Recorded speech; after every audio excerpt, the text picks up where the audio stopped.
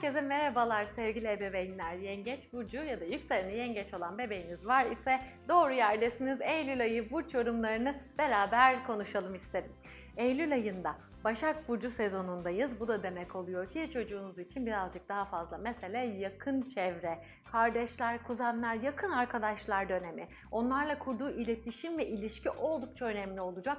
Belki birazcık daha Başak Burcu doğası itibariyle birazcık daha eleştirel bir ortam söz konusu olabilir. Herkes birbirinin sınırlarına birazcık girmeye çalışıyor olabilir. Teyzeler gibi böyle yakın akrabalar da söz konusu olacaktır. Ama sonuçta birbirini destekleyen ve üretimi, konuşmayı, bir şeyler ortaya koymayı destekleyen bir zaman dilimi kesinlikle. O yüzden çocuğunuzla ilgili sıkıldığınız, sıkıştığınız bir durum olursa bilin ki siz de etraftan destek alabilirsiniz bu zaman diliminde.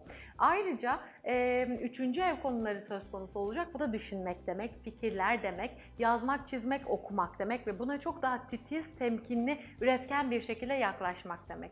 Bu da demek oluyor ki aslında kitaplar alın çocuğunuza. Beraber oturun okuyun. Daha fazla belki yazmaya uğraştırın. Çünkü Başak her zaman için el hareketleriyle ve zanaatle ilgili olduğundan dolayı bu dönemde yazmaya yönelik o el hareketlerine alıştırmak için şahane bir dönem olacaktır diyebilirim sizlere.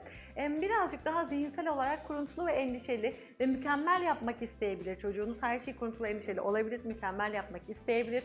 Bu da onu birazcık daha temkinli olmaya, kendi sözlerini 2-3 defa düşünüp ortaya koymaya itebilir. Zaten daha doğası gereği birazcık daha duygularıyla yaşayan, daha onay almak isteyen, öyle hemen kendini ortaya koyamayan bir yapısı olabiliyor. O yüzden bu dönemde çok fazla eleştirmektense desteklediğinizden emin olun diyebilirim sizlere. Yine abiler, ablalar, yakın kardeşler, kuzenlerle olan iletişiminde eleştirilmek birazcık üzebilir maalesef ki.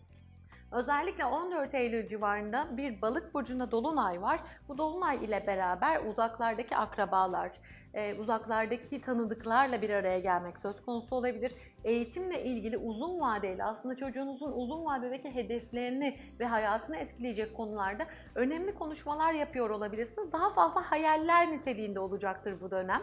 E, çok böyle keskin kararlar alma zamanı değil, birazcık daha nasıl yapalım, neler olsun gibi böyle farklı ihtimallere ve seçeneklere bakma zamanı olacaktır. Değerlendirin diyebilirim sizlere. Hayal kurma zamanı çünkü keyifli bir zaman bu anlamda keskin kararlar almak için uygun değil ama hayaller kurmak için kesinlikle çok ama çok uygun bir zaman dilimi.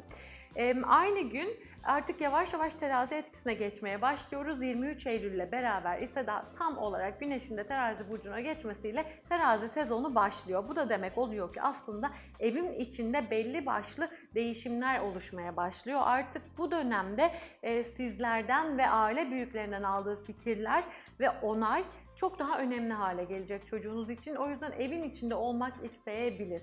Birazcık daha kendi içinde kalmak isteyebilir. Sizden destek aldığını görmek isteyebilir. Belki odasını, evini, yaşadığı alanı biraz daha böyle güzel bir şekilde değiştirmek, dekore etmek istediğini görebilirsiniz. O yüzden kendi istediği düzeni yapmasına yardımcı olmak keyifli olacaktır diyebilirim size. Beraber odasını düzenlemek güzel olacaktır bu zaman diliminde. Herkese keyifli bir Eylül ayı diliyorum. Umarım çok rahatlıkla ve keyifle geçer. Görüşmek üzere sevgili ebeveynler.